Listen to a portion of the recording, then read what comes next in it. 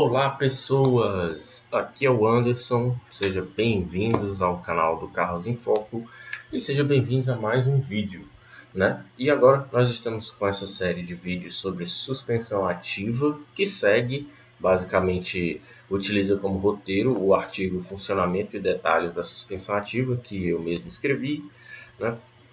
É, e hoje nós vamos para a segunda parte, né? Hoje vamos falar de alguns carros que utilizaram esse conceito de suspensão.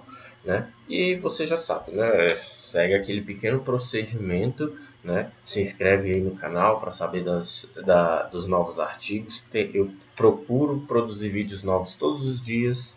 Né? É, é, ativa as notificações, senão você não vai ficar sabendo. É, e curte o vídeo, porque é para ajudar o algoritmo a movimentar aqui o canal, senão não dá, né? Então, então vamos lá, vamos lá para a parte que eu parei.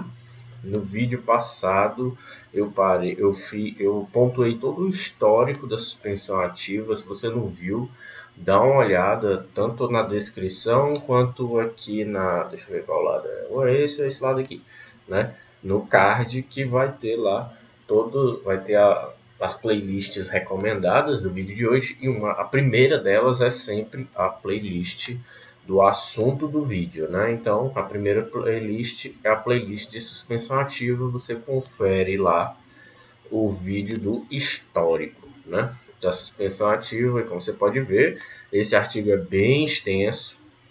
E hoje a gente vai pontuar os principais carros né, da suspensão ativa. Né? Esse artigo eu escrevi ali por volta de 2017, 2018, aproveitava ali as férias da faculdade na época, né? É, é, é, um, é um artigo bastante extenso e, e bom, é, acabou gerando acabou gerando uma boa série de vídeos, né? Então vamos lá, vamos, deixa eu só ativar aqui o marcador. Sempre gosto de deixar marcadinho aqui na roxinha porque fica fácil de fazer os cortes. Né? Então, então vamos lá, vamos e é, como eu estou fazendo agora, né? Eu coloco as fotos para vocês verem, né? E nós estamos aqui na parte de... Ah, bem em cima da foto que eu queria. Pera aí.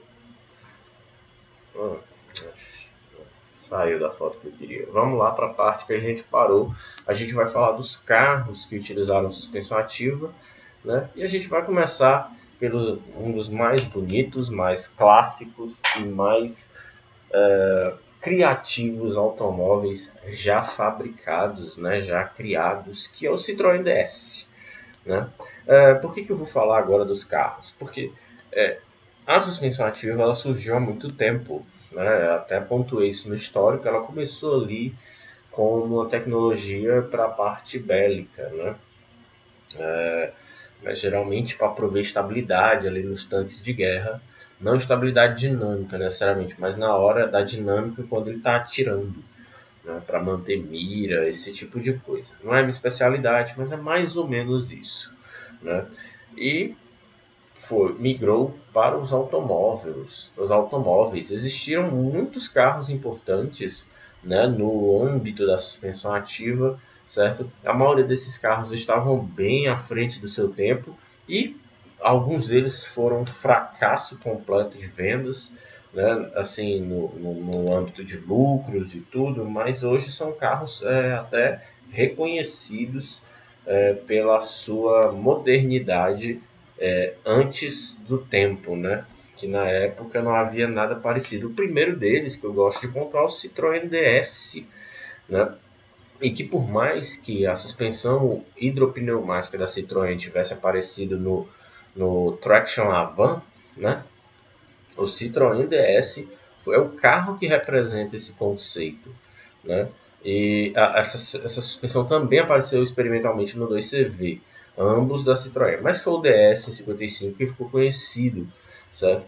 Na verdade, o DS por si só, né, é, ele era um carro conhecido não apenas pelo desempenho da suspensão ativa, mas pelo seu apelo tecnológico, certo? Ele quebrava padrões. Bom, você pode dizer isso até pelo próprio design, mesmo ele sendo um carro antigo. Você olhar um carro desse hoje, ele é um carro, no mínimo, ortodoxo, né? E, e era um período assim pós-guerra, nos quais, no, no qual os países ainda estavam se reerguendo e aí você se depara com a lindeza dessa na cor azul. Né? DS19 apareceu com esse design inovador, esguio, powertrain dianteiro, certo? E um, um conjunto de sistemas hidráulicos, né? Ele era um sedã, como você pode ver, quatro portas, certo? E as tecnologias que ele utiliza na época eram é, um salto tecnológico, mas ele ditou um padrão, né? Que é utilizado até hoje né, é, o que? Sistema hidráulico nos freios. O DS foi um dos primeiros carros a utilizar freios hidráulicos. Até então, freio era acionamento mecânico. E o DS tinha freios, embreagem e suspensão com sistema hidráulicos. Né? A suspensão Hydroactive e o sistema de freios né, em conjunto com o sistema de embreagem tinha acionamento hidráulico, ou seja, era um carro mais confortável de se operar, de se dirigir certo? Era um carro até caro para a época, porque, bom, tinha muitas inovações tecnológicas, mas ainda assim ele era tão moderno que ficou no mercado aí por os seus 15 anos, né? Então, sendo lançado em 55, ele saiu ali por volta dos anos 70, né, de linha, né? Ou seja, ele ainda passou muito tempo. E, no, e, é, e é comum ver o DS como carro de embaixada, né, em alguns filmes, né? Dado o fato de que ele tinha um certo luxo e era um carro bem moderno. Né? Mas o lance aqui é a suspensão ativa, a suspensão hidropneumática dele era capaz de se ajustar de acordo com a carga aplicada à suspensão. Em outras palavras, o que, é que eu quero dizer quando eu digo carga sobre a suspensão? Uh, bagagem, pessoas dentro do carro, ou seja, quanto mais peso, né? então a suspensão se ajustava a isso. Além disso, temos que lembrar também que existem cargas dinâmicas, ou seja, quando o veículo está trafegando. Então a suspensão também era capaz de se ajustar com relação a isso. O que, é que ela fazia? Alterava a altura em relação ao solo. Né? Uh, a caixa de marchas era semi-automática, certo? Embreagem hidráulica, ou seja, não tinha pedal de embreagem. Né? Câmbio manual, de certa forma, né? apesar disso, apesar de, de não ter embreagem, câmbio manual, certo? E esse sistema ele funcionava como se fosse um sistema automatizado, né? que emulava o pedal, o, o pé do motorista, né? e acionava os componentes necessários para fazer que, a, que o disco de embreagem é, acoplasse e desacoplasse do volante do motor. Né? Uh, outra coisa interessante também que surgiu com o DS19 foram os faróis direcionais. Né? É, o, o sistema de direção hidráulica dele tinha uma derivação que acionava um, um sistema que é, alterava a, o facho dos faróis, mas numa angulação é, que acompanhava né, o movimento das rodas, ou seja, quando você estava virando, o farol não estava apontando para frente, ele estava apontando para a direção da curva. Né? Hoje poucos carros têm esse sistema, mas muitos, muito poucos mesmo. É raro você ouvir falar de que um carro tem, um carro tem esse sistema hoje, porque também é um tanto caro de se implementar. Né? Se um farol por si só já é caro, um farol básico, imagina um farol com boas lâmpadas xenon, halógenos e um sistema direcional, né? meio caro. E o DS já tinha essas inovações. Depois do DS, se teve um outro carro que a gente fala de suspensão ativa, e a gente já lembra dele, é o XM. E se você lembrou de Ronin, aquele filme com Robert De Niro, Jean Renault, bom, você, você conhece carros e sabe identificar os carros no, num filme, porque aquele filme ali tem excelentes. O cara que escolheu os carros daquele filme, ele pegou é, carros muito interessantes ali, aquele Mercedes, o Audi S6, né? É, só um momentinho. Ah, tudo certo. Ah, vez ou outra eu paro para olhar aqui a conexão. Né? Pegou o Audi S6, pegou um, um Citroën XM, que se eu não me engano é, era esse modelo, né? E eu tendo a acreditar que essa foto é a foto de uma miniatura. Mas enfim, é, é bem ilustrativa, né? Então, o XM, ele não foi um sucessor do DS, certo?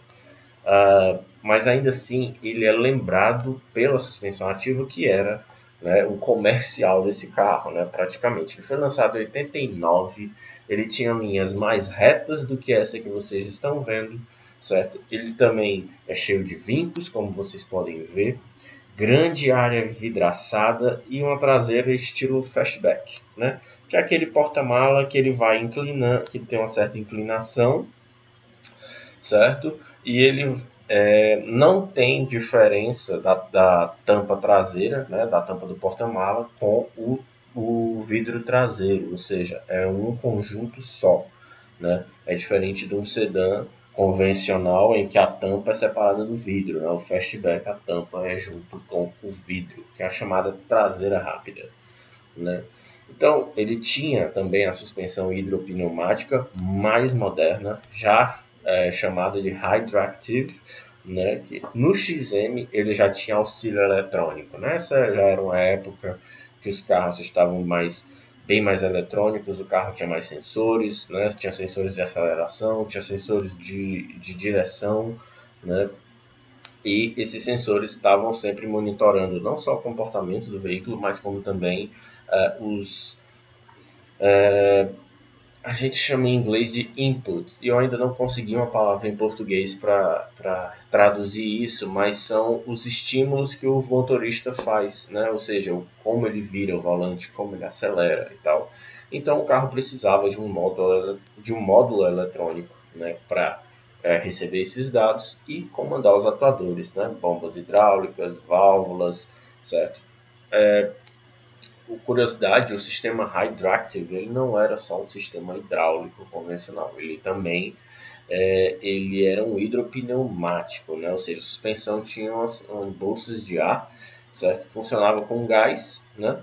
e o fluido hidráulico. Né? Nesse caso era um nitrogênio e o óleo era um óleo mineral hidrofóbico. Né? No XM, essa suspensão era capaz de interpretar a situação era capaz de interpretar em que situação o veículo se encontrava, né, realizando alterações na altura da suspensão, né, rigidez da suspensão, certo?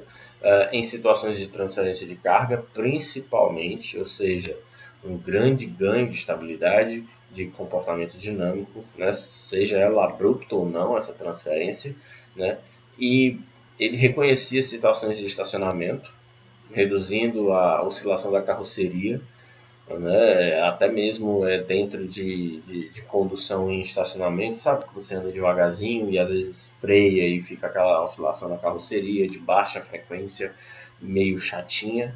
Ele também reconhecia essa situação né? e mitigava isso. Né? É, e, e assim, uma especialidade, uma, o grande lance da suspensão, ela conseguia entender o que era uma via bem pavimentada, mas que tinha um buraco ali pontual, de uma via é, realmente irregular, né? Realmente uma via realmente esburacada. Ele conseguia interpretar isso aí, certo? É, e ele é muito lembrado assim no contexto do desenvolvimento da suspensão ativa, porque ele deu continuidade de uma certa forma à tecnologia iniciada no DS, certo? Só que ele não foi um carro que vendeu muito, né? É, a marca esperava aí cerca de 160 mil unidades, certo? E, mas ele, ele não chegou muito perto disso, é, mas ainda assim, em termos técnicos, é, a maioria das avaliações da época o reconheceram como um excelente carro. Né? Ele, ele chegou a receber o prêmio do, de carro do ano europeu, né? mas ainda assim foi um carro que acabou descontinuado é um carro muito bonito, pelo menos eu gosto desse estilo dele. Tinha um XM abandonado aqui em Fortaleza há muitos anos atrás, eu costumava ver ali por uns bairros. É, e era interessante, eu sabia que era o XM e a suspensão dele, o carro estava totalmente rebaixado, né? Por causa, provavelmente, algum defeito na suspensão, né? É, dizem algumas, é, alguns uh, notas técnicas, revistas, que o carro era até capaz né, de provocar uma rolagem positiva nas curvas. Né? Ou seja, é como se o carro se comportasse como uma moto. Sabe a inclinação das motos? Pronto, ao invés dele, dele inclinar como um carro, ele inclinaria como uma moto. Né? Só que a própria Citroën meio que vetou isso, né? essa, essa proposta aí de comportamento da suspensão, né? porque achava que a, os motoristas não interpretariam isso muito bem. E esse foi o Citroën XM. Agora a gente vai para o Lotus Esprit Turbo, né? Uh, eu acho que é a sua terceira geração.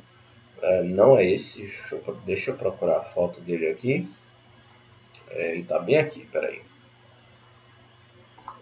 Está aqui. Esse é o Lotus Esprit que teve suspensão ativa. Né? Ele serviu de carro de teste para a Lotus, né? para esse sistema, antes da Lotus implementar ele totalmente é, no, no, nos carros de Fórmula 1. Né? É, mas acabou não indo para o Lotus Esprit de produção mesmo, embora é, experimentalmente ele tenha sido bem sucedido. Né? Foi uma, um, um projeto feito é, em conjunto da Lotus com a Universidade de Cranfield, na, na Inglaterra.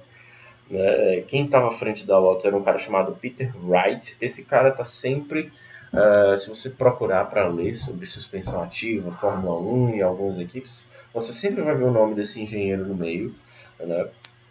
Uh, e eles adaptaram algumas unidades do Lotus 82, esse é o, né, ano 82, certo? E, e, colocaram a suspensão ativa nele, né? Era um sistema experimental. Esse sistema tinha o que? Ele tinha um módulo eletrônico, tinha sensores de carga, de aceleração e ele tinha atuadores que eram as válvulas eletrohidráulicas e, claro, a bomba hidráulica. Né? O resultado foi um carro mais rígido com comportamento é, em relação às transferências de carga, certo? Ou seja, ele era um carro que aparentava ser mais na mão do piloto, né? Lidava muito melhor com as irregularidades da pista, certo? Uh, ao mesmo tempo em que era um carro rígido, né? Para condições em que requeria grande habilidade dinâmica, ou seja, curvas, uh, trechos sinuosos, S de alta e baixa velocidade, esse tipo de coisa. Né? Ou seja, o sistema se mostrou bem interessante para um carro de rua. Né?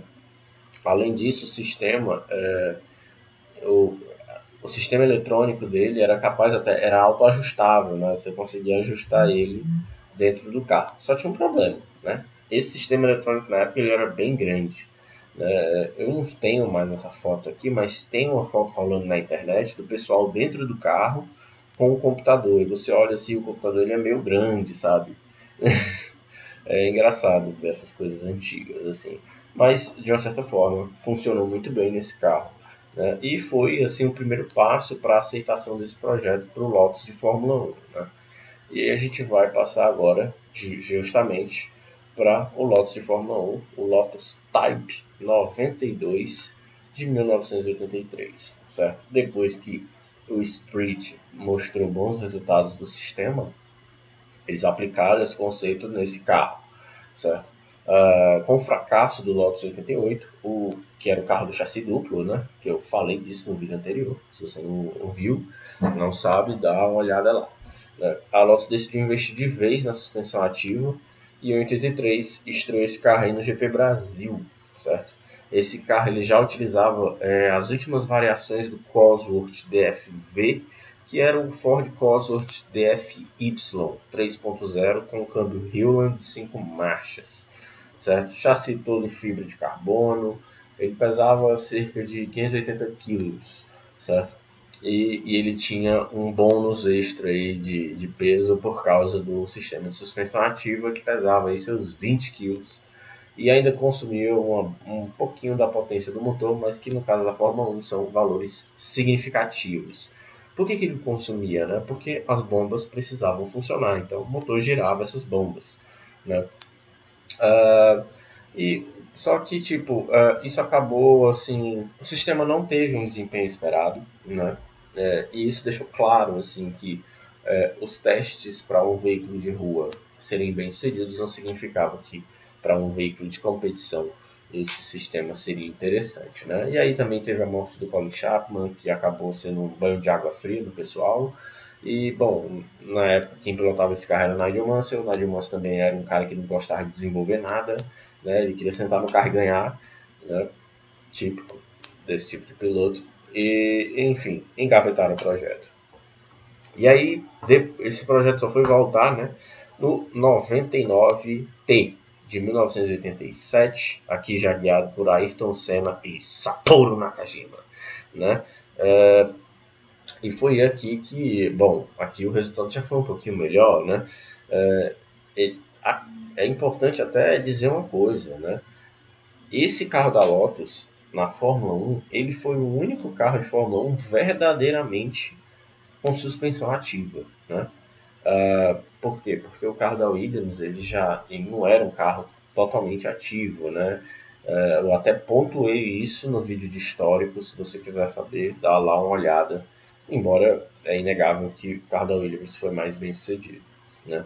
Uh, o carro utilizava o propulsor japonês Honda RA166E V6, né? Era 1.5 com 900 cavalos, certo? Produzidos aí com 4 bar de pressão de turbo, chassi de fibra de carbono, câmbio manual de 6 marchas e o carro tinha 540 kg. Né? Suspensão ativa desse carro era um circuito hidráulico, 18 sensores espalhados pelo carro, dois tubos de pitot, né? velocidade, é, quatro amortecedores e molas com, é, com unidades de comando hidráulico no topo e um ECU que era localizado atrás do banco do piloto. Né? É, com o 99T, Ayrton Senna venceu duas corridas, Mônaco e Detroit. Senna nesses carros só vencia mesmo em circuito de rua, né? que era onde ele conseguia ali bater de frente com as outras equipes. Né? É, curiosamente, as duas as duas das pistas mais irregulares do campeonato. O sistema de suspensão ativa do 99T parecia bem nascido. Uh, observação, se eu não me engano, no GP de Mônaco de, desse ano, o, o, sistema teve um problema, né? E o Ayrton guiou ali uma parte da prova até o fim é, com o carro com o sistema de suspensão ativa defeituoso, né? Isso mostra até né, a habilidade que o Ayrton tinha, porque guiar esses carros é, com sistema ruim é muito ruim. Né? Como se o carro não tivesse mais suspensão. É algo mais ou menos assim. É, é igual a experiência de dirigir um carro de direção hidráulica com um sistema inoperante, né? Tipo aquela frustração assim de que você realmente não tem força para girar o volante, certo? Ah, só que esse ano, né, mesmo o ano sendo bom para a Lotus, ah, tinha uma outra equipe que usava suspensão ativa, né, que era a Williams, que foi muito melhor, certo? Ah, embora a, a, suspensão da Williams fosse chamada de suspensão reativa, né, é, a equipe ganhou mais corridas, ganhou o campeonato, né, e, e acabou meio que botando assim, é, ofuscando né, o desempenho da, da tecnologia da Lotus, né. Mas ainda assim, foi um grande salto para a Lotus né, em relação ao último carro, né, que foi começou mal, teve o projeto interrompido. Né, então, assim, é, é, tem que se pontuar isso. E, eu já te, e a diferença básica desse sistema para o da Lotus ou para o da Williams é que o da Williams ele tinha um foco, era só controlar a altura em relação ao solo. O carro da Lotus não.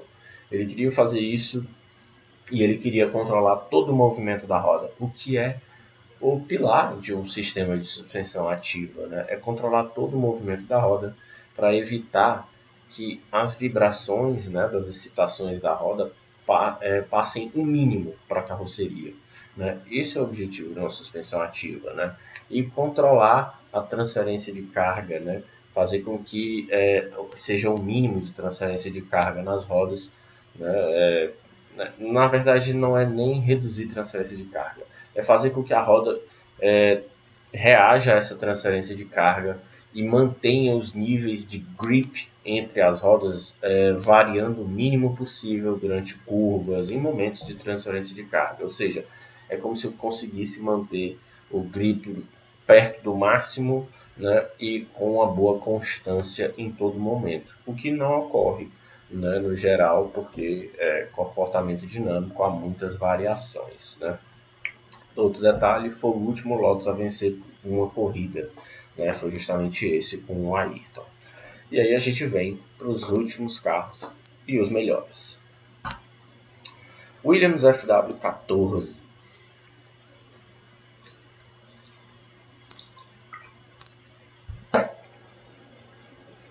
esse é considerado por muita gente um dos carros de corrida mais avançados de todos os tempos. Ele marcou muito, porque era incrível a superioridade desse carro em relação aos outros. Era um privilégio ver esse carro trucidar todo mundo.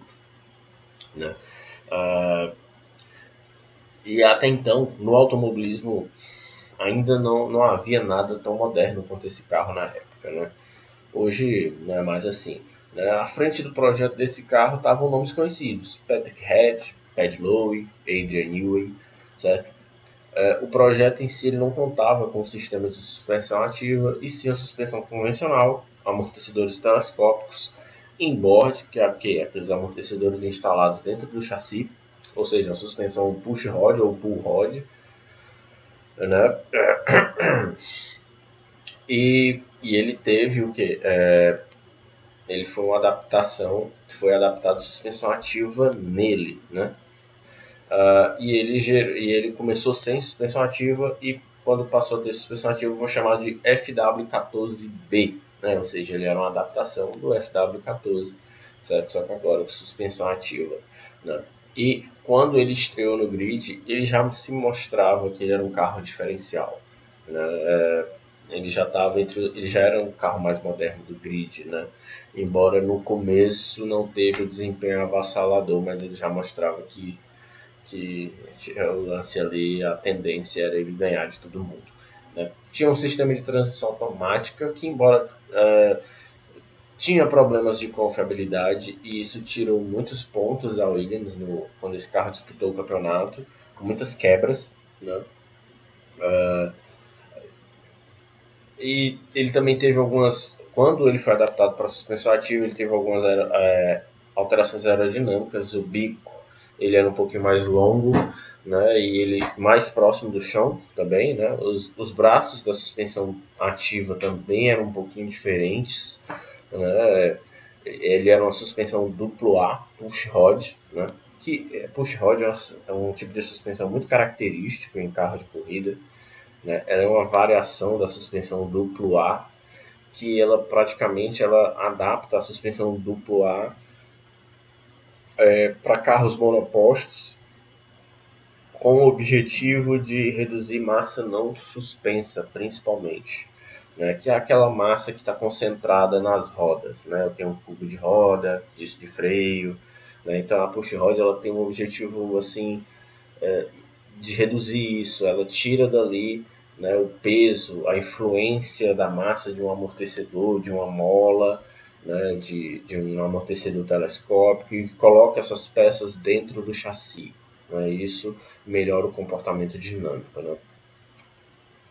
Ah, e, como qualquer sistema eletrohidráulico, né, é, ah, todos os atuadores é, eram comandados por uma PCM que recebia informações dos sensores, né, e aí o que é que fazia? Alterava a rigidez da, da, da suspensão, alterava a altura em relação ao solo.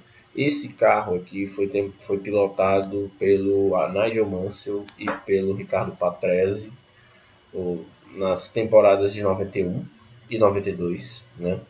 Uh, e foi nas primeiras, eu acho que foi em 91, ele levou um tempo assim para dar uma aparecida, porque ele quebrava muito, né? Mas no geral, disputou 32 corridas, venceu 17, fez 21 poles, uh, 19 voltas rápidas, né? E o Nigel só foi conseguir ser campeão com ele em 92, porque em 91, embora ele tenha chegado até, até o fim em Suzuka contra o Ayrton, né, ele já tinha quebrado muito, né?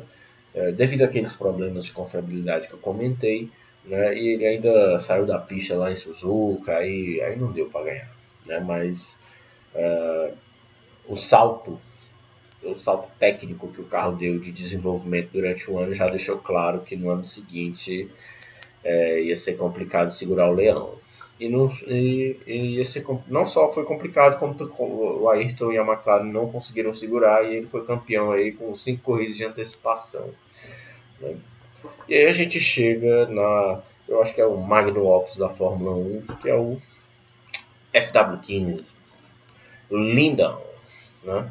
Foi um carro desenvolvido para a temporada de 92. Olha só, 92, certo? Uh, o objetivo aqui era, um, era, produzir um carro focado na suspensão ativa, certo? O, o FW14 ele já foi um carro adaptado, esse aqui não. Ele era um carro focado na suspensão ativa. Só que o que, é que aconteceu? O FW14 estava muito bem, certo? Ele foi muito bem sucedido. Ele foi bem em 91, mas não ganhou o campeonato. Mas foi muito bem em 92 e ganhou o campeonato. Então não fazia sentido durante o ano substituir ele pelo FW15, certo? E aí esse, o pessoal, o, a Williams adaptou esse carro para a temporada de 93. E aí ele passou a se chamar é, FW15B, né? Deixa eu só conferir aqui se está tudo certo. Tudo certinho. Estou só olhando aqui a transmissão. Voltando. Então, a Williams adaptou esse carro para o ano seguinte. Ele passou a se chamar FW15B. Né? Entretanto, é, o Nigel saiu da equipe depois que foi campeão. Foi, pra, foi, foi se aventurar na Indy. Né? E eles chamaram o Prost para correr. Né? Tiraram o Prost lá da, do ano sabático dele. Uh, promover o Damon Hill. Né? O Damon Hill foi um dos caras que ajudou no desenvolvimento dessas suspensões ativas. Ele, ele atuava ali junto com, se eu não me engano, Mark Blundell como piloto de testes. Né? E ele passou a ser o companheiro de equipe do Prost. Né? Uh, só que, assim, o carro estava o carro estava preparado para o Mansell, né? e foi adaptado para o Prost e para o Damon Hill. E curiosidade, o Prost, em uma das entrevistas aí, eu não sei qual, ele chegou a comentar que ele nunca se sentiu muito bem naquele carro. Né? Isso é engraçado, porque o Prost ganhou aquele campeonato ali, digamos assim, é, foi difícil, né? mas ele ganhou. Né? Foi difícil, né? Foi difícil aí. Mas ele ganhou do Ayrton ali. É, eu acho que na McLaren ele teve mais dificuldade. Né? E ele disse que não estava tão bem acomodado nesse carro. O fato é, é que teve que dar, adaptar esse carro para o Rio. Né? Então o carro sofreu algumas mudanças. Certo? E aí o carro passou a se chamar de FW15C. Certo? Ele se parecia muito com o FW14, mas a gente consegue ver algumas diferenças, que é o estilo do bico né, que na, na, na época já eles já estavam saindo dessa configuração de bico indo para uma que, é, que era o que chamava de bico tubarão e vindo para essa configuração que o bico era mais deitadinho, né, mais bicudinho em direção ao, ao solo, em direção ao chão, né? Uh, mas tinha muitas melhorias nesse carro. Não é só esteticamente, né? A gente tinha asa, bico, né? Uh, a posição da suspensão ela estava um pouquinho mais discreta para melhorar a aerodinâmica, né? Lembrando que esses braços são expostos, né? Então o ar está passando por ali também, né? Isso tudo conta, né? Então eles foram melhorando isso e o FW15C, que é esse carro aí, ele tinha aí 12% menos de arrasto, arrasto aerodinâmico que o FW14, né?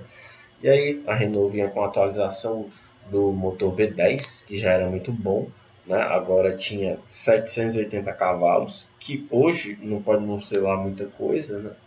mas na época era a potência desses motores né? aspirados, né? sem turbo. Hoje a Fórmula 1 tem mil, basicamente, né? É, mil cavalos, né? mas na época 780 era muita coisa. Tinha um sistema pneumático de acionamento de válvula, né? Uh, ou seja, isso aí, ó, 93, cara. 93, sistema pneumático de acionamento de válvula. Né? Uh, e era, era tão, tão. O disparate era tão grande que a diferença de potência para o segundo motor mais potente, que era o motor da Ford, né, que equipava Benetton do Schumacher, eu acho, era de 80 cavalos. Né? Ou seja, muita coisa para carros monopostos, carros que é, é, já são naturalmente leves. Né? Isso era muita coisa. Era uma discrepância muito grande. Certo? E aí a gente tem mais mudanças também na parte de transmissão. Né? Ele tinha uma caixa de transmissão semiautomática de seis marchas. Né? Tinha um sistema automático de embreagem por botão, certo? que facilitava até a partida, uh, tipo a arrancada dos veículos na largada. Né? é, ele tinha uma, uma função chamada auto up, no qual o câmbio trocava de marcha automaticamente, né, até que o, o, piloto utilizasse os botões de troca manual, ou seja, ele, ele era um câmbio automático. Né. É, já era ali as tecnologias que viriam anos depois de câmbio automático com opções de troca manual nos carros de rua, né? É, e agora ele tinha muito mais eletrônica embarcada, além da própria telemetria, freios ABS, controle fly-by-wire. O que é fly-by-wire? Livre de fios, né? ou livre de cabos, ou seja, agora são fios. Por exemplo, uh, freio fly-by-wire, ou seja, não é você que está acionando o, o cilindro de freio. Você pisa no freio, um sensor lê a sua força e comanda um atuador para pressurizar o sistema. Por exemplo, acelerador, mesma coisa. O, o sensor lê a sua força, taxa com que você é, aplica essa força, ele interpreta isso e diz, olha, ele quer acelerar de tal forma e ele vai e acelera o motor. Né? Então, esses são comandos fly-by-wire. Né? É, controle de tração, né? Uh, e além da própria suspensão ativa. Né? O carro tinha muitos, alguns, vários módulos eletrônicos, cerca de três módulos, a PCM, a própria telemetria do carro e o módulo da suspensão ativa, todos com rede CAN, né? ou seja, de compartilhamento de dados. Certo?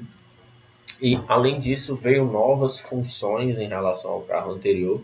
Uma delas era o Open Up, que era como se fosse um push to pass, ou seja, quando o piloto apertava o botão, a traseira se reerguia, ficando mais alta que a dianteira para reduzir o arrasto devido ao difusor traseiro, né? E o motor esticava um pouco, um pouquinho o ponto de troca de marcha. Só pontuando uma coisinha aqui, olha para o carro de Fórmula 1 hoje, e você vai ver que a traseira às vezes em alguns carros parece estar um pouco mais alto que a dianteira, né? Ou seja, é, né? Só curiosidade, né? O, mas o carro também tinha alguns pontos fracos, por incrível que pareça, né? E a gente vai lembrar também de um momento muito é, marcante nessa temporada que esse carro correu, que foi 93, né? Um deles ele, o carro tinha uma grande dificuldade de se adaptar em condições de chuva. Né? As rodas travavam muito, certo? E isso ocorria devido a uma pequena é, dificuldade na sincronia do câmbio com o motor nesses momentos. É, por que isso? É porque assim, é, quando você troca de marcha, o que, que acontece? Você tem um motor na velocidade certo? Você está acelerando é, e você vai trocar de marcha. o que, que ocorre? Quando a marcha entrar, você vai ter as rodas numa velocidade e o motor numa velocidade mais baixa. Então, você precisa equilibrar isso, sincronizar, para que o motor levante a velocidade da roda de novo. Certo? Quem faz isso? Sincronizadores. Né? Ele, é, própria, por isso que cai a, a rotação do motor. Né? Só que é, o que, que acontece? Quando você reduz a marcha, você vem para uma freada, pisa no freio, a rotação vai caindo, certo? É, e você vai reduzir de marcha. O que, é que acontece? O, as rodas agora estão numa velocidade menor que a velocidade do motor. E aí o que, é que acontece nesses momentos quando você tira o pé da embreagem, né? E ou seja, acopla o disco no volante, as rodas travam. Isso é muito comum em carro de corrida, qualquer ele que seja. Na verdade, isso é comum em qualquer carro, né? Se você vier com a frenagem de alta intensidade e for fazer redução de marcha. E aí o que é que se faz nessas horas? O ponta taco, né? Porque você dá aquela pisadinha no acelerador para quê? Para você acelerar o motor dar mais rotação e ele equivaler, ficar numa velocidade parecida com a velocidade das rodas, e assim você está sincronizando, certo? Uh, então essa é a função do ponta taco, né? Fechou aqui uh, o momento curiosidade, né? Aí o que, que acontece? Esse carro fazia isso, né? Só que quando em condição de chuva ele tinha esse problema e aí verificaram que na, no software, na condição de chuva, não estava tendo essa sincronia. Né? E aí ocorria é, uma interpretação errônea dos sinais dos sensores pelo módulo. Né? Uh, e aí o sistema meio que enlouquecia, travava roda e tudo. Uh, e isso foi uma assim dos motivos que o Prost perdeu aquela corrida na Inglaterra, em Donington Park, né, que o Senna fez aquela largada espetacular, né, ganhou, acho que foi cinco posições em uma volta, né, e tem várias entrevistas falando disso e se não me engano está até no livro do Adrian Newey que ele diz, poxa, era só esse o problema, porque eles perderam aquela corrida, eles tentaram de tudo, tudo deu errado e o problema era só esse, porque tava é, esse pequeno detalhe né, no, na, no software da, da suspensão ativa e o sistema não se adaptava bem com chuva. Mas, de resto, o FW15C e o Prost dominaram a temporada, certo? O Prost foi tetra, né? A Williams foi campeã de construtores. O carro teve 10 vitórias, 15 pole positions e fez 10 voltas rápidas. É, talvez não seja mais, né? Mas é de longe um dos. É, o, talvez ele seja o segundo melhor carro de Fórmula 1 de todos os tempos, porque eu acredito que o melhor hoje é a Mercedes, né? Dos últimos anos. Eu não sei se esse ano a Mercedes é a melhor, né? Mas esse é o fato. Esse carro aí é o carro é um, é um carro espetacular. Né? É um carro de que eu sou fã. Bom, é isso. Hoje aqui terminando a parte 2.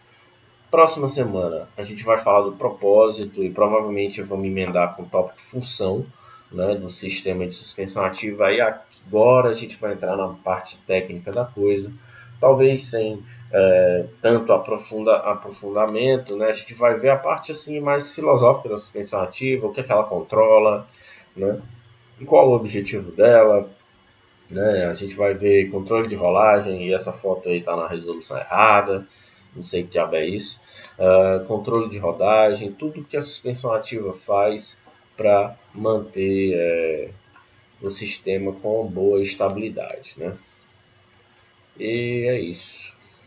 Deixa eu ver. É, exatamente isso aí. A gente vai ver essa parte aqui próxima semana. É, próxima semana é, é. Próxima semana? É, próxima semana.